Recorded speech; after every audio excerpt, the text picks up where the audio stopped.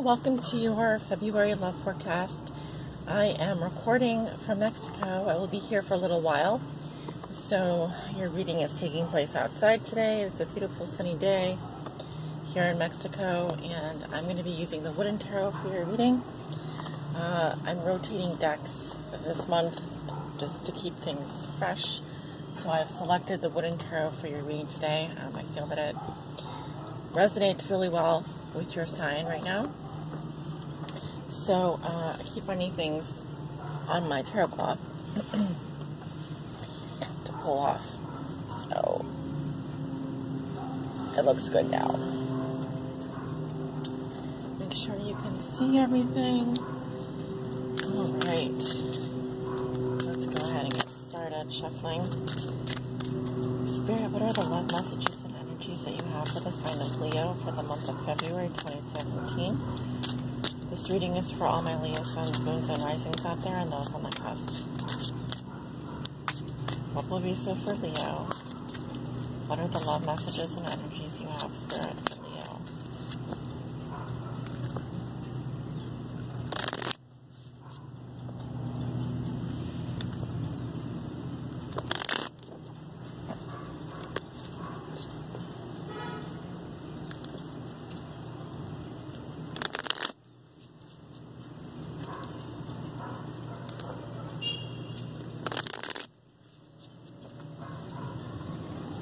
what are the love energies that you for the sign of Leo for the month of February 2017? What do they need to know regarding their love lives?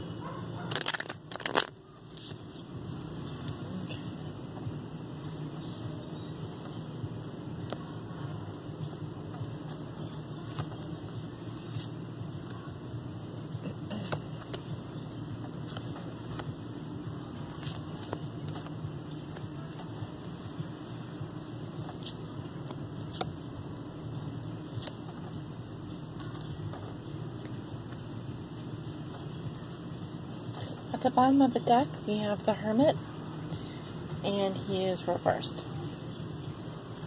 So, the card at the bottom of the deck usually talks about the overall theme of your reading.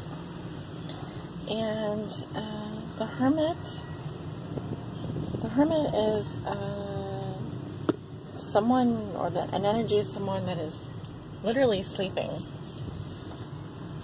Could, could be an energy of withdrawal going into your shell a little bit. Um, there's also some antisocial behavior. Uh, the energy of some kind of antisocial person. Could be dealing with a Virgo or someone that has Virgo energy. But the Hermit is a recluse. Uh, when he's reversed, he is very reclusive. So, what are you hiding away from in February, Leo? You may have your back turned to people, or you may be uh, jumping in bed and trying to escape from your from the uh, the demands of the outside world. But it's only because you are um, incubating.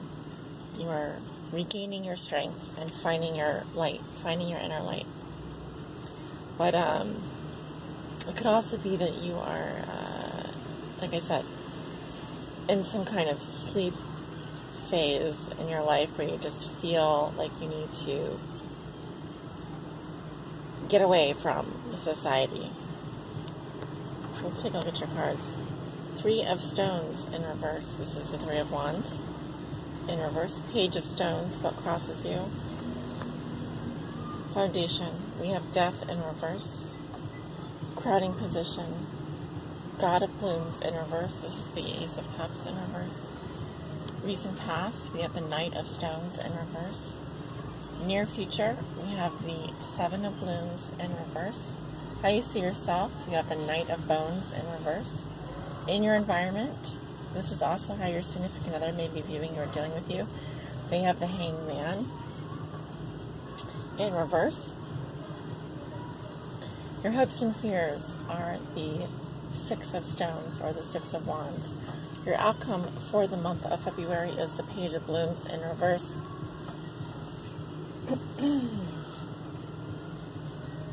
so you walk into the month of February with the energy of the Three of Wands in reverse. Basically tells me that you're not waiting anymore.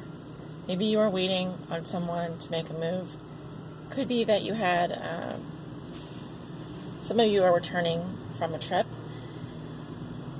uh, the other possibilities uh, talk about not having long term vision. So it could be some of you are in a relationship and you don't really see a long term plan for the future. And those of you who are single, you may just not be looking.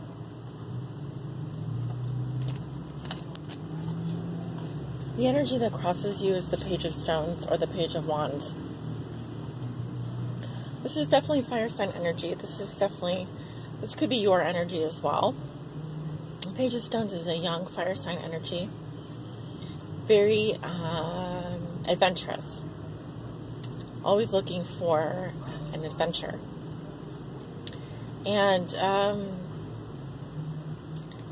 there's also a lot of innocent excitement with this card, as well as uh, potential new admirers the Page of Stones is the person that uh, like the cat caller. Sees something pretty walking down the street, sees something handsome walking down the street. He or she will most definitely uh, let the person, let them know that they think that person is hot. But in the challenge position, it's saying that uh, getting that energy, feeling that way, is difficult for you it could be that this is something that's helping you as well, but I'm seeing it uh, as an obstacle in your situation. Page of Stones is also someone who's a bit immature. They're almost childlike in terms of their um, their naivete, because we have like the fawn here, like a, a doe. She's a doe actually, and the uh, lepidocrocite crystals crystals are uh, representative of that fire energy as well. So it's a little bit tricky, but I think that some of you may be um, looking for a new opportunity uh, in love, something exciting you want to start something exciting. But I feel like uh, either you're not going to wait around for this person or you um, don't have any major plans. You're just kind of looking for something quick. Uh, I don't know where to go next. You have this fire sign energy in your recent past as well. The Knight of Stones is in reverse. The Knight of Stones it's like the Knight of Wands, really. It's that Leo, Aries, or Sagittarius energy. When he's reversed, um, of course, this is the energy passing out of your life in February. So, one to two weeks back in the past, uh, the Knight of Stones in reverse is someone that is resisting pleasure or their ability to act uh, with passion has been blocked. Uh, there may also be um, some travel delays. It can represent travel issues. In terms of love, I feel that this is the energy of someone who is holding back, resisting. They may be um, too careful about their movements or uh, rushing. They may have rushed into something really fast in the recent past, and now they're finding themselves that finding out that in the current situation, there's not really uh, a vision of the future. They haven't thought things through. So their plans, like their one of their plans, some of their plans could have fallen through. I'm seeing three here, so this can involve three people. Perhaps one of those options is no longer available.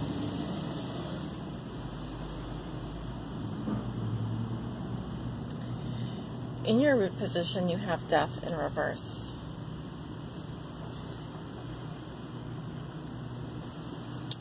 So it could be that, you know, you are burning bridges, running away from something in your life. When death is in reverse in this position, it's saying that you are resisting change. You're afraid of change. You're afraid of making plans with people. You're afraid of uh, thinking about the future. And that could be part of the reason why this new inspiration, this, ins- this inspiration is in your challenge position, this new beginning. Um, also, in terms of your thoughts and feelings and your conscious level, you have the God of Blooms in reverse. So there could be, um, it could be a rejection in terms of love. It could also say that um, there's a feeling of being emotionally drained in some situation, from some situation. But I'm really seeing it as um, you. Uh, this represents the root of love. This represents unconditional love. And when it's reversed, um,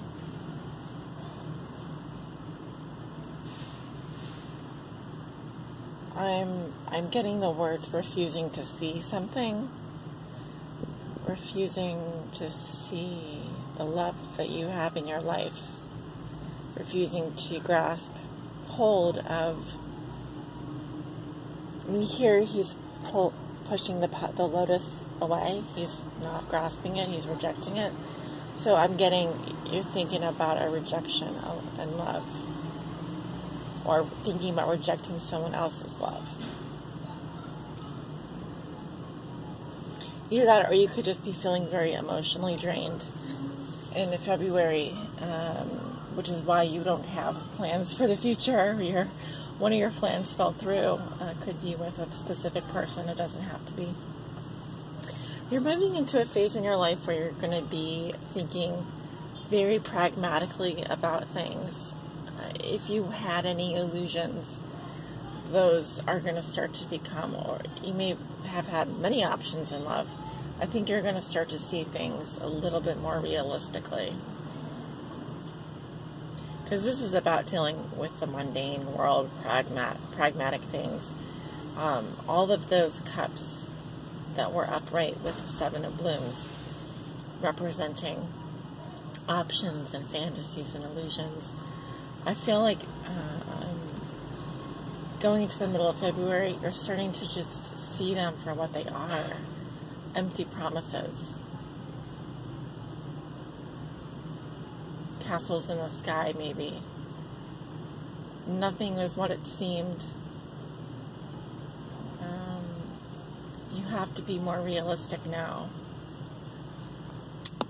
Which is why you see yourself as the Knight of Bones in reverse. Some of you have Virgo, Taurus, or Capricorn in your chart because this is Earth sign energy.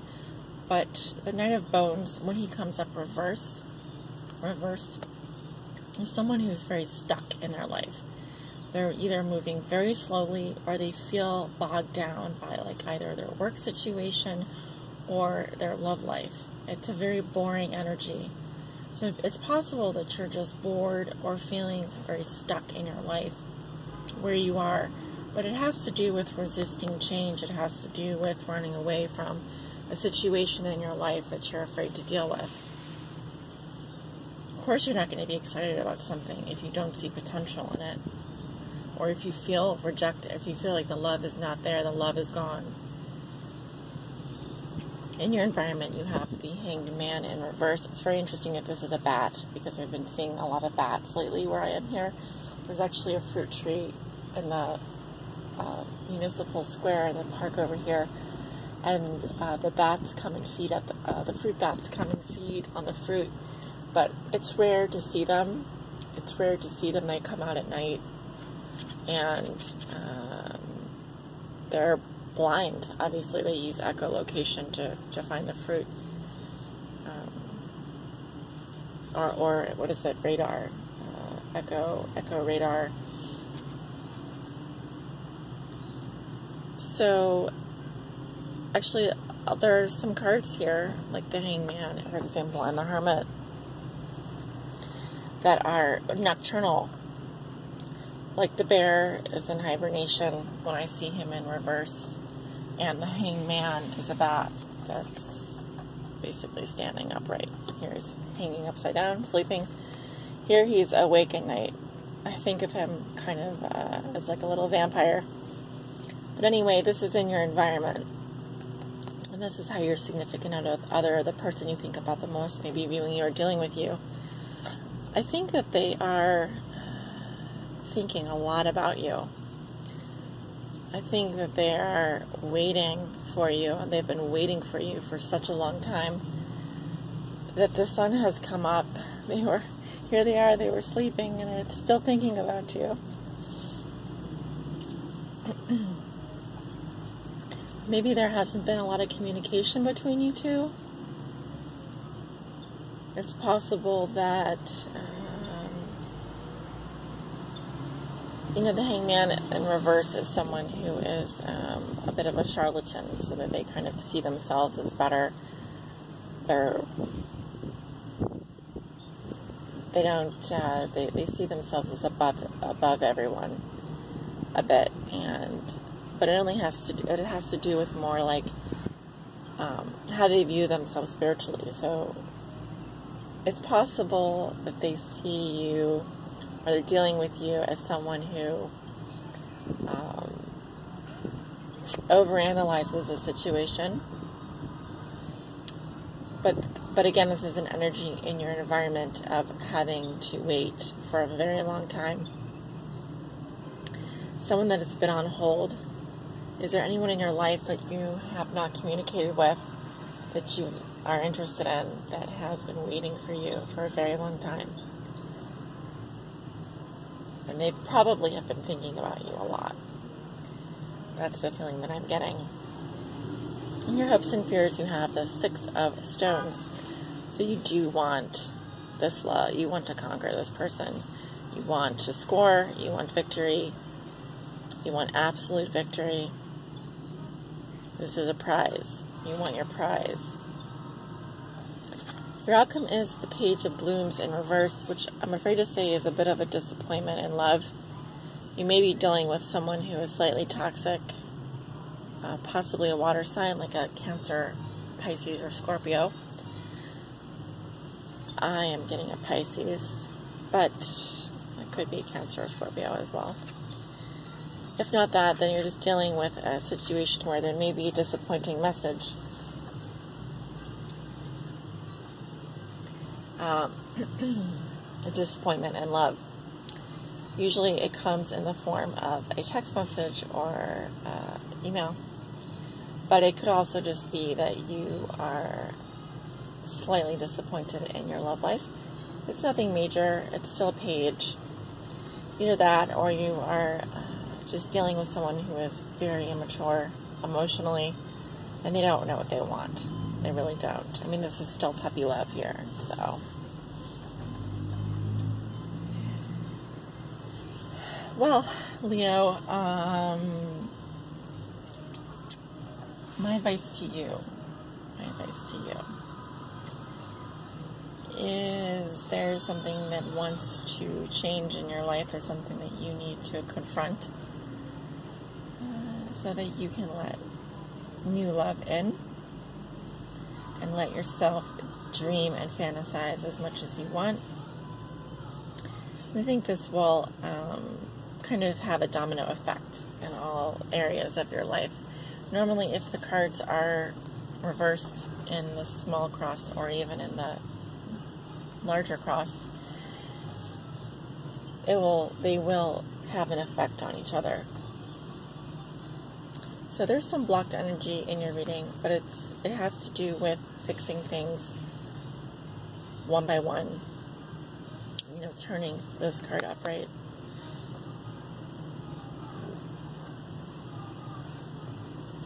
You want to be able to have a long term vision, you want to be able to make plans. If it's travel that you want to do, if it's exploring, if it's looking for something better, you want to be able to go ahead and do that. You want to be able to feel uh, this new love coming to your life. You want to welcome it. So, we're at 20 minutes. Of course, we don't we can't control how other people respond to us, and if there's someone in your environment who's acting a bit uh, like they're too good for you, or they're just overthinking things, I mean that's their prerogative, right? And you you need to keep working on yourself, keep moving forward on your path, and uh, not worry about what other people think or how other people respond because we we are what we attract.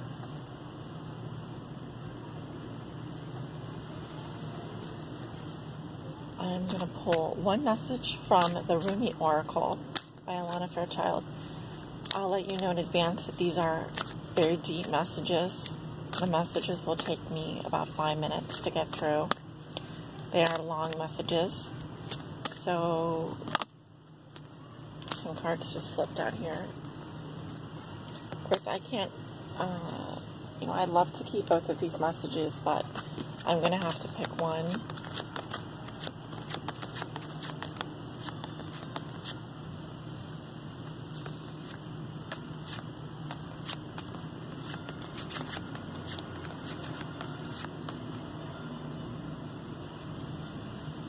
I wish you guys were here with me to help me pick this message.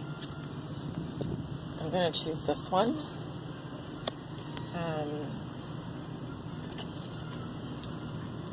it says from nothing to everything.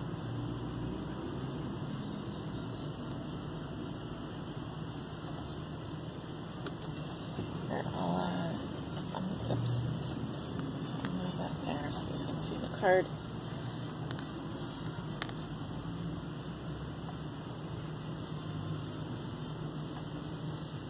I'm going to read a little bit from the book here. This is card 16.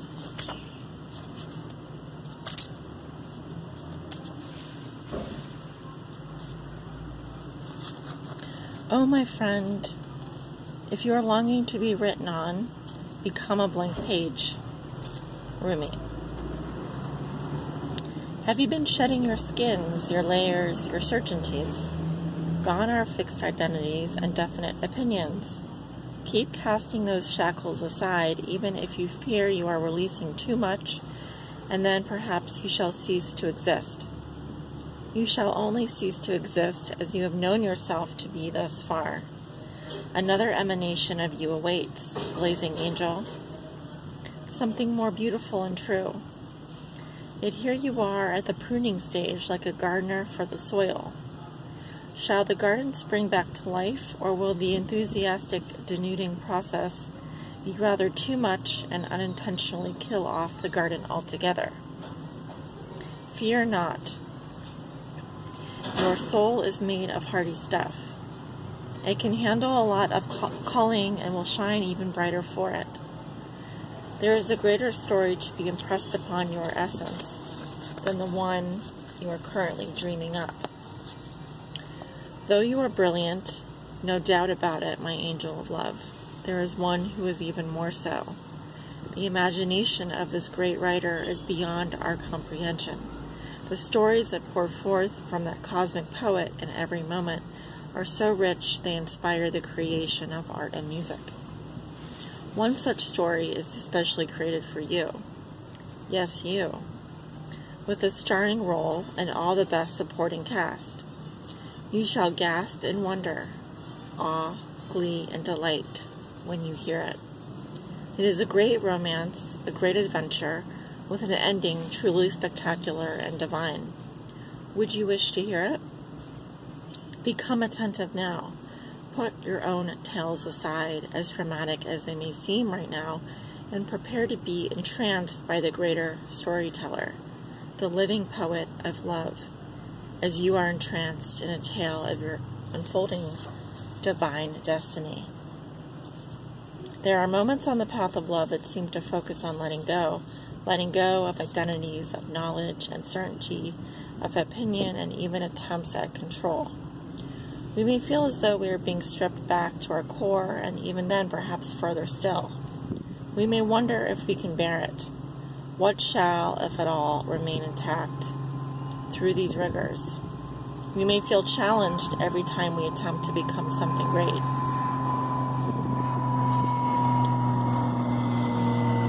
As though we are blocked by circumstances beyond our control.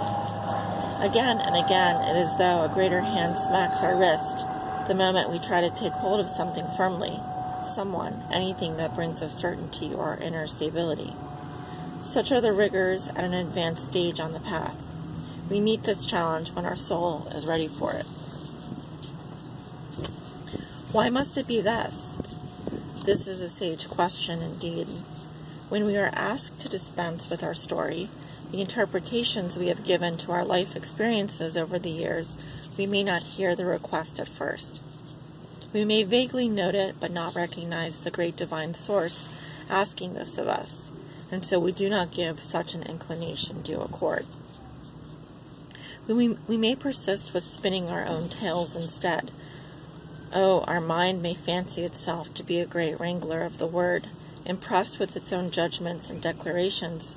Yet, in the light of comparison with the divine tale for our soul, all our fancies shall pass away, revealed as so very frail, like clouds dissipating in the sky. Perhaps we are graced with the realization there is so much more. Or perhaps we still don't get the hint and move into struggle as we try to enact what we think our story should be. We may hit obstacle after obstacle and create even more terror in our storytelling. That life is such pain, a struggle, that success may not be for us, that we are forgotten and unheard. Yet we could equally choose to wonder if obstacle after obstacle, closed door after closed door, is just a prompt to look for the open window to climb through. And if so, instead of seeking to impose our small story upon the great truth, we can live the truth of our divine destiny. Then something magical happens. We participate through presence along with the unfolding story of our soul journey. We open up to whatever is asked, asked of us, presented to us, happening through us, as we choose each day to come alive as much as we can. Then, as if by magic, there is something else that occurs. That would be grace. Real, rich, dripping with goodness and sustenance, grace. This is the sacred blessing that enables us to pay attention to opening doors rather than closing ones. The divine assistance that lets us know our life is proceeding according to a greater intelligence and plan. Once we stop thinking quite so much and live day to day, we will be blessed with the realization that our individual life story is so much more extraordinary and perfect than anything we could have summoned, even with our wildest imagination. This oracle comes with guidance for you, Leo. You are being you are being asked to let go, to receive, to become empty, to be filled. This may mean letting go of attachment to a lover so you can receive genuine love. It may be of no longer holding on to a fantasy of your dream job, but of being guided into your most soulful and successful vocation. It may mean letting go of wishes for your body or health to be other than it is so you can simply get on with living each day, taking steps into wellness without thinking beyond one day at a time. It is the divine paradox that when we are asked to surrender a story or fantasy, it is because reality is knocking at our door more often than not with the delivery of what we have been fantasizing about, but in the best way for us. The human experience of this paradox is that you may feel you are giving up hope, that your fantasy is dying. It may be very painful and bring you much grief. But all that is dying is your attachment and opinion about how it must be. This needs to happen so you can stop dreaming and start living it. This is what is happening for you now. Do not fear any part of your process. Embrace it without expectation. with trust in your heart that the divine is simply guiding you from fantasy into fulfillment. Sacred Honoring Ritual. Place your hands in prayer and bow your head. Say aloud, I choose to trust in the great genius unfolding in my life. I give thanks for the blessings of grace now flowing into my heart. I have no need to know. I trust in the perfection of my being unfolding with innate intelligence and wisdom. Rumi, who loves me unconditionally, holds me in his protection, and I accept my destiny with a peaceful and trusting heart. Please help me to surrender the stories, attachments, fantasies, and fears that have held me back from living my heart's desires fully. I now choose unconditional trust in the loving genius of life to lead me into my fulfilled destiny now. So be it. You have completed your sacred honoring ritual.